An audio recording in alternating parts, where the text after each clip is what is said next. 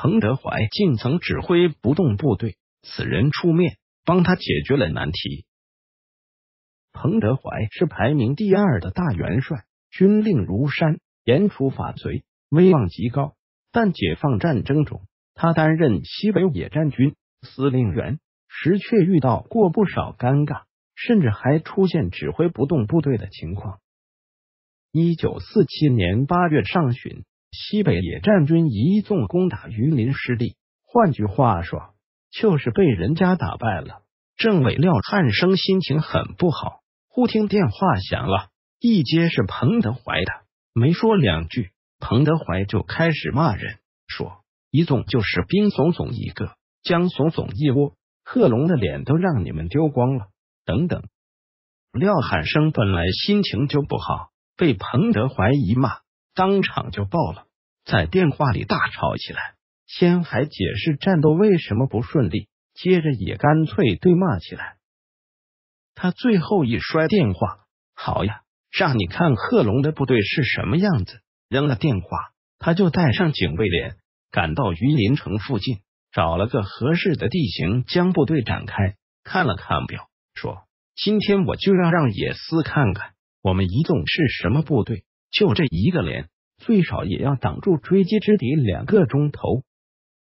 司令员贺炳炎听说此事后，也亲自带一个营去增援，结果打退了追兵，与廖汉生全身而退。西北野战军出现一种和彭德怀赌气的不正常现象。几个月之后，一九四八年四月，在西府战役中。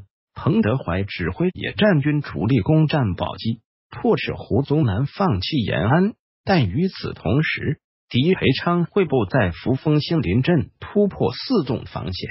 四纵在既未请示上级，又未通知兄弟部队的情况下，自行撤退到岐山东北的山地，致使裴部长驱直入，直逼宝鸡。在胡宗南优势兵力追堵中，几次给野战军主力造成险势。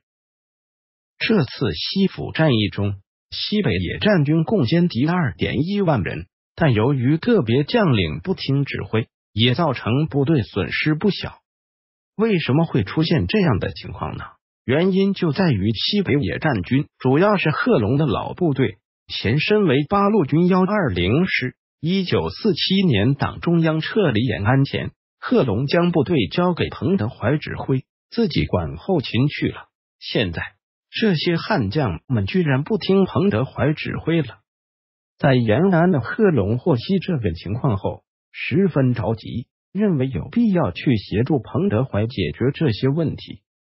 五月初，他与中共元老林伯渠从延安赶往西北野战军。他们先去了四纵，在纵队党委扩大会上，贺龙对个别旅的干部不团结问题极不服从彭指挥。提出了严肃批评和帮助教育。接着，他们赶赴西北野战军前委驻地洛川县土基镇，出席总结西府战役的野战军前委扩大会议。在会上，彭德怀因为一纵走错了路，耽误了时间，批评一纵说没有意识到危险，自己先走了。廖汉生这一事件的起因，其实是因彭德怀越级指挥造成的。移动政委廖汉生心里一直有气，此刻又将彭德怀的意思没听清楚，听成移动有意识的自己先走了，马上就炸了，当着全体高级将领站起来和彭德怀争辩起来。你说说什么叫有意识的？什么叫没意识的？你越过两级指挥，直接给团下命令，还是口头命令？事前没打招呼，事后也不通知，你倒说说，这是有意识的还是无意识的？要是不信过我们纵队领导，干脆以后把我们和旅都取消掉吧，你直接去指挥团好了，老子不干了！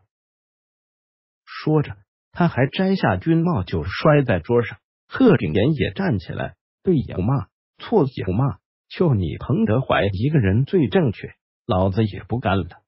彭德怀的指挥风格与贺龙不同，比较刚直和不近人情，这就是西北野战军将领们不听指挥的原因。对此，将领们早有腹诽。此刻廖汉生、贺炳炎一开头，其他人也纷纷跟着附和，七嘴八舌，这个不干了，那个要撂挑子？一时把会议几乎变成批判彭德怀的会了。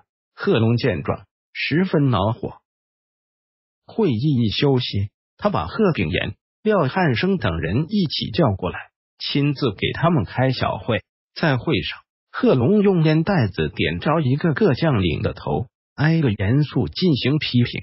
他批评贺炳炎说：“彭总打电话叫你们去那里筹粮，就应该坚决执行。”不管你有什么理由，有多大困难，不坚决执行是不对的。